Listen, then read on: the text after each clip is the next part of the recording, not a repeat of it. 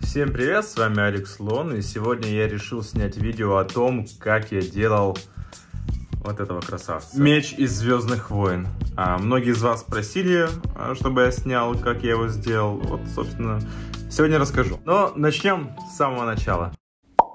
Сейчас вечер, и мы с Ульяной вышли на поиски палок. Спросите, для чего? Я просто хочу научиться фехтованию, вот, а меча у меня нет, поэтому я ищу палку но нужна побольше. Вот, так что ищем. В итоге я нашел более-менее подходящую палку, почистил ее, снял с нее, получается, кожуру. А, но мусора было очень много, и она даже, в принципе, проверку прочности прошла. Вот, собственно, я тут ее и проверяю. Но эта палка оказалась слишком легкая и неудобная, и поэтому я решил просто купить черенок в магазине, обмотать его изолентой.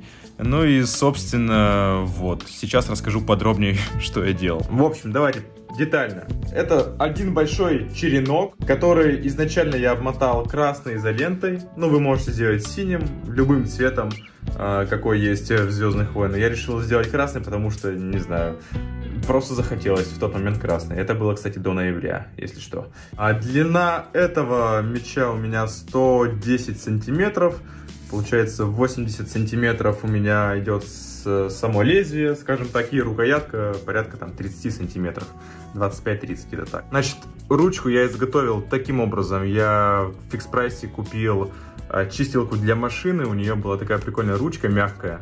Вот, я ее снял и переделал сюда, чтобы было мягче держаться. А на конце я сделал утяжелители, достал из своего старого игрушечного пистолета э, металлические блоки, их тут два, раз и два, и примотал их тоже изолентой к концу меча, чтобы примерно баланс был, ну, плюс-минус где-то между ручкой и лезвием. Между ручкой и лезвием я сделал вот такое утолщение, тоже просто здесь э, побольше слоев изоленты намотал, чтобы во время вращения фехтования меч не вот так вот не выскальзывал, а чтобы вот он держался э, в руке плотно. То есть своего рода гарда. Что могу сказать по итогу?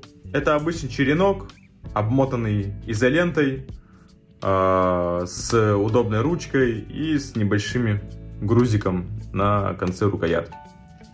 Все.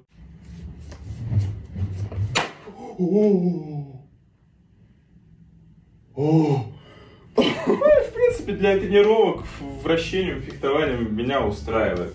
Вот я, собственно, уже разучил некоторые элементы. Так что покупайте черенки, обматывайте изолентой. Становитесь джедаем. Всем спасибо за просмотр, ставьте лайки, подписывайтесь на канал. С вами был Алекс Лон. До новых встреч!